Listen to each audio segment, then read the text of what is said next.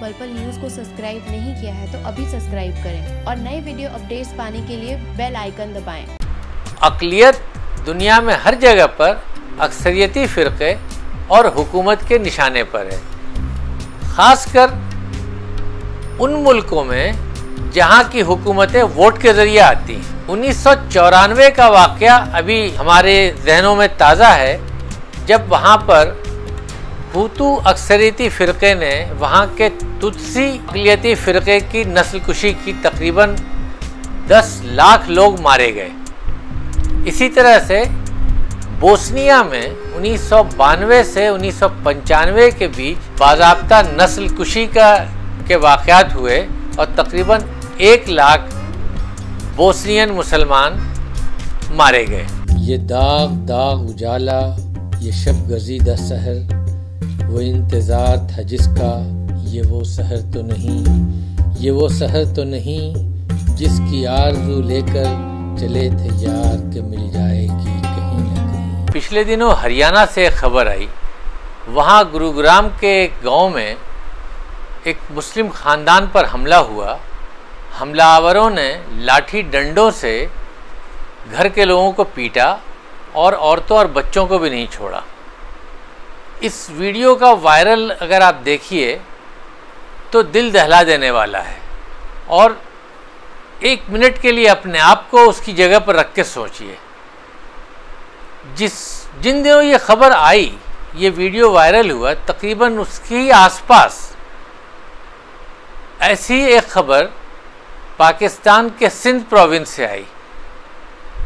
वहाँ पर दो हिंदू बच्चियों को जो कि अभी नाबालिग हैं, उनको अगवा कर लिया गया और फिर उनको मुसलमान बनाकर उनसे निकाह कर, उनका निकाह पढ़वाया गया। दोनों ही जगह ख़बर इस लिहाज से सिमिलर है कि मजहबी अकलीतों के ख़िलाफ़ कार्रवाई हो रही है, जिस पर हुकूमत सही तौर पर कोई कार्रवाई नहीं कर पा रही है। जो दूसरा वाक़ सिंध का था, उस पर हमारी फॉरेन मिनिस्टर सुषमा स्वराज ने एक ट्वीट जारी करके इस पर अपनी तशवीश का इजहार किया।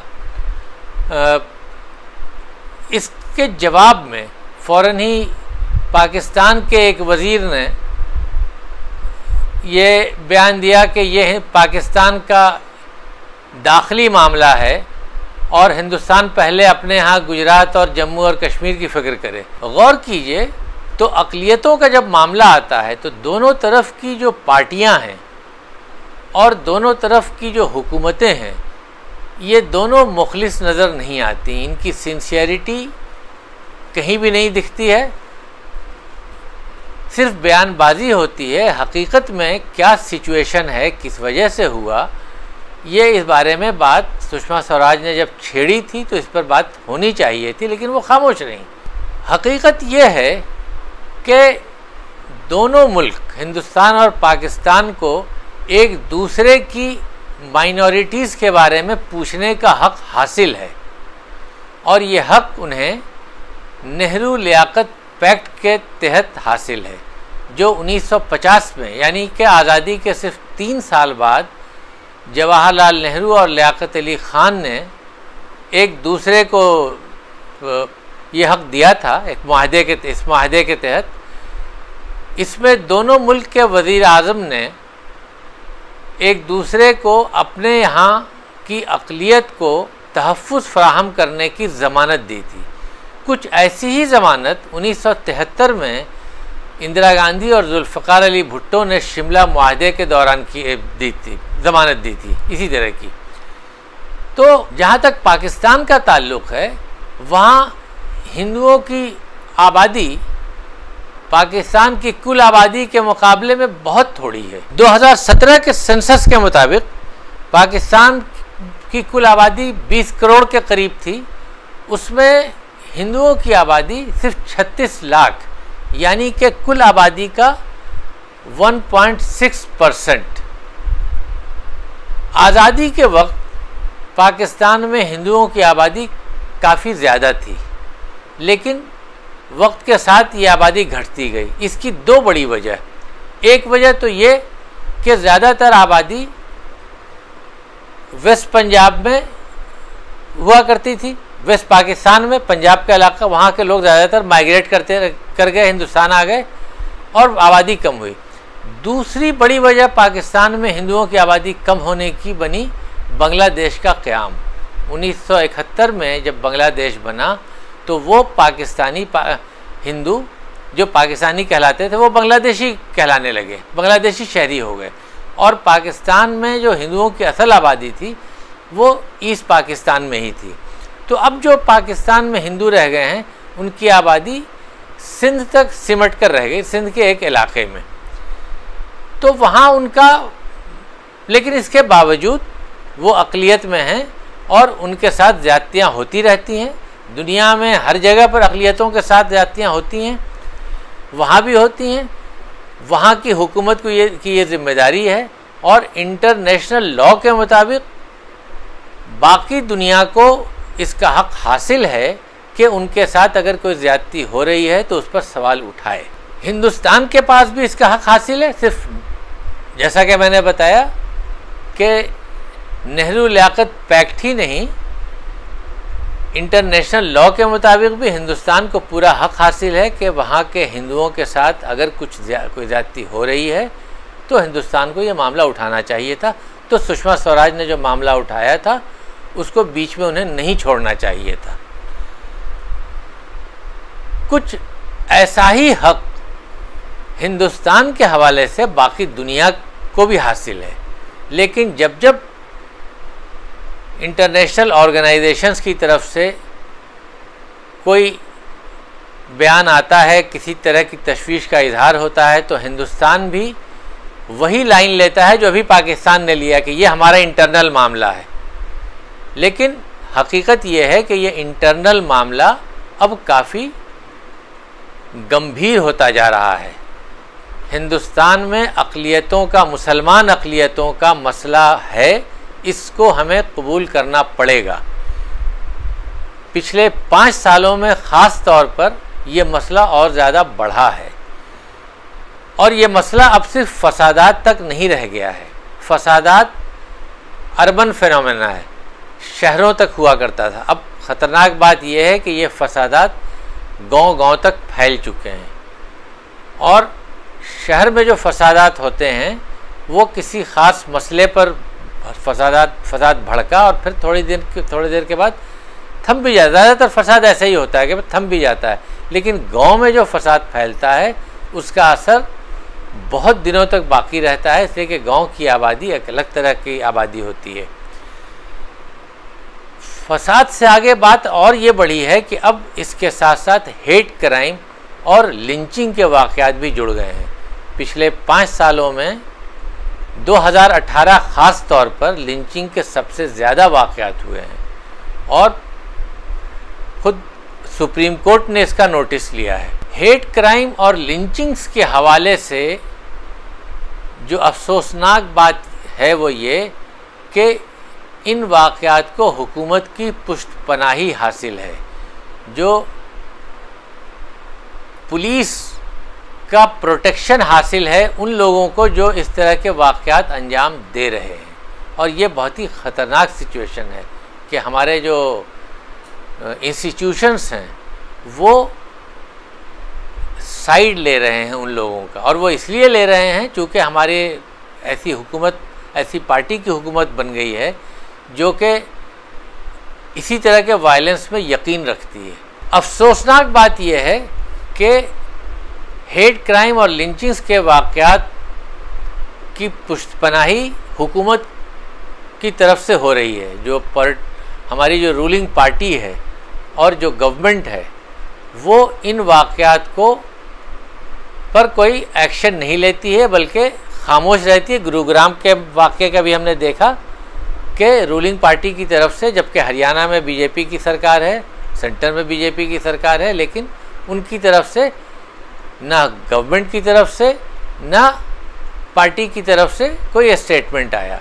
तो पुलिस का रवैया भी बहुत ही अफसोसनाक रहता है। विक्टिम्स के ख़िलाफ़ ही मुकदमा दर्ज होता है और जो लोग इन वाक़ात को अंजाम देते हैं, उनके ख़िलाफ़ हल्की फुल्की कार्रवाई करके मामले को रफा दफ़ा कर दिया जाता है। गुरुग्राम में भी कुछ इसी किस्म का मामला पेश आया है अभी। वहाँ पर मुसलमान दो चार घर ही हैं, उस जहाँ पर ये वाक़ हुआ है। कुछ एक मुसलमान ख़ानदान के बच्चे और कुछ नौजवान घर के बाहर क्रिकेट खेल रहे थे। होली की छुट्टी थी। लोग बाहर, घर के बाहर क्रिकेट खेल रहे थे। बाइक पर कुछ लोग आए और उन्होंने उन लोगों को, बच्चों को खेलने से रोका और कहा कि क्रिकेट खेलना है तो पाकिस्तान जाकर खेलो। जब घर का बुज़ुर्ग बाहर आया और उसने पूछा कि क्या हो रहा है तो उन लोगों ने बाइक पर जो सवार लोग थे उन्होंने उस, उस बुज़ुर्ग को थप्पड़ मारा और चले गए। और थोड़ी देर के बाद एक भीड़ जमा हो गई जमा के साथ वो लोग आए और घर पर हमला कर दिया। हमला करते हुए उन लोगों ने जो बात कही वो उससे पता लगता है कि उनकी नीयत क्या थी। जब वो हमला कर रहे थे, वो ये कह रहे, कहते जा रहे थे कि मुल्लों ने यहाँ पर इमारत खड़ी कर ली है। इसका मतलब बहुत साफ़ है। मगर पुलिस इस वाक़े को नज़रअंदाज करती रही शुरू में और ये कहकर नज़रअंदाज करती रही कि ये दो गुटों का मामला है और एक आम सा वाक़ है, कोई ऐसी चीज़ नहीं है। लेकिन जब इसका वीडियो वायरल हुआ तो पुलिस दबाव में आ गई और इसे एक्शन से एक्शन लेना पड़ा और कुछ गिरफ्तारियाँ हुई कुछ लोगों के ख़िलाफ़। मुकदमा कायम किया गया। अब ताज़ा खबर यह है कि पुलिस ने जिस ख़ानदान पर हमला हुआ है, उस ख़ानदान के दो नौजवानों के ख़िलाफ़ मुकदमा दर्ज कर लिया है। ये एक पैटर्न है जो पुलिस इस पर चल रही है। कुछ ऐसा ही ऐसा ही कुछ हम लोगों ने अभी बुलंदशहर में देखा था, दिसंबर में वहाँ भी एक संघ परिवार के लोगों ने एक पूरा एक मॉब जमा कर लिया। गाय के कुछ बाकियात मिले थे और पुलिस पर, पुलिस स्टेशन पर हमला कर दिया। पुलिस स्टेशन को आग लगा दिया और एक पुलिस अफसर की जान ले ली। पुलिस ने जो कार्रवाई की हमला करने वालों के ख़िलाफ़, उसके साथ साथ वहाँ पर मुसलमानों को भी जोड़ लिया उसमें जबकि मुसलमानों का इससे कुछ लेना देना नहीं था। दूर दूर तक कहीं पर नहीं थे वो। लेकिन मुसलमानों के ख़िलाफ़ भी मुकदमा दर्ज किया गया और जिन लोगों के ख़िलाफ़ मुकदमा दर्ज किया गया, उनमें बच्चे सात साल और आठ साल के बच्चे भी शामिल हैं और वो लोग भी शामिल हैं जो ना उस वक्त मौजूद थे, बल्कि कुछ ऐसे लोग भी हैं जो वहाँ रह नहीं रहे थे काफ़ी दिनों से। इस तरह के जब वाक़ात पेश आते हैं तो हिंदी प्रेस का रवैया हमारे यहाँ बड़ा अजीब होता है। गुरुग्राम के मामले में भी हिंदी प्रेस बराबर ये कहता रहा कि ये दो गुटों का मामला है और जो लोग इसको कॉमनल कलर दे रहे हैं लोग कॉमनल कलर दे रहे हैं लोग कुछ लोग इसको। फिर ये खबर आई कि वो ख़ानदान अब वहाँ पर उस जगह पर नहीं रहना चाहता है और अब वो घर बेच कर जाने वाला वहाँ से ए, कहीं और कुछ करने वाला है वो ख़ानदान। हिंदी प्रेस ने फ़ौर ये खबर छापी एक इंटरव्यू छापा एक उस घर के एक फ़र्द का। कि जिसमें कहा गया कि नहीं, हम लोग कहीं नहीं जा रहे हैं हम लोग यहीं रहेंगे, हम तो बहुत हिंदू, मुस्लिम, एकता की बात उसमें की गई। जिस वक्त ये खबर छापी, एक बहुत बड़े अखबार ने ये खबर छापी। उसी वक्त, उसी ख़ानदान का एक आदमी दिल्ली के कॉन्स्टिट्यूशन क्लब में प्रेस वालों को ये बता रहा था कि वो लोग घर छोड़कर जा रहे हैं और घर का, जो उन्होंने अभी कुछ साल पहले ही बनाया है, उसका ख़रीदार ढूंढ रहे हैं। पाकिस्तान का उर्दू प्रेस भी कुछ इसी अंदाज में काम करता है। सिंध का जो वाक़ अभी हुआ तो वहाँ का प्रेस भी लिपा पोती में लग गया और बजाय ये कि जो विक्टिम्स हैं, उनके हक की बात करें, वहाँ जो रिपोर्टिंग हो रही है, उसमें पूरे तरह से इस मामले को रफा दफ़ा करने की बात की जा रही है। अकलीत दुनिया में हर जगह पर अक्सरियती फ़िरक़े और हुकूमत के निशाने पर है। ख़ासकर उन मुल्कों में जहाँ की हुकूमतें वोट के ज़रिए आती हैं। उन्नीस का वाक़ अभी हमारे जहनों में ताज़ा है, जब वहाँ पर हुतू अक्सरीती फ़िरक़े ने वहाँ के तुदसी अकलीती फ़िरक़े की नस्ल कुशी की तकरीबन 10 लाख लोग मारे गए। इसी तरह से बोस्निया में उन्नीस सौ बानवे से उन्नीस सौ पंचानवे के बीच बाजाबता नस्ल कुशी का, के वाक़ात हुए और तकरीबन एक लाख बोस्नियन मुसलमान मारे गए। हिंदुस्तान के हालात भी रोज़ बरोज़ तशवीशनाक होते जा रहे हैं। तशवीशनाक इसलिए कि हमारी हुकूमत इस पर बात नहीं कर रही है और हमारी सियासी पार्टियाँ, न सिर्फ़ रूलिंग पार्टीज़ बल्कि अपोजिशन पार्टियाँ भी इस मसले को नहीं उठा रही हैं। वोट की सियासत का शिकार होकर वो हक बात कहने से गुरेज कर रही हैं। क्या अब वक्त नहीं आ गया है कि दुनिया हिंदुस्तान में मुसलमानों के साथ, दलितों के साथ और दीगर अकलीतों के साथ जो जुल्म और ज़्यादती हो रही है, उस पर संजीदगी से गौर करे और ऐसे उपाय करे कि हिंदुस्तान की, हिंदुस्तानी हुकूमत की ज़िम्मेदारी तय की जा सके।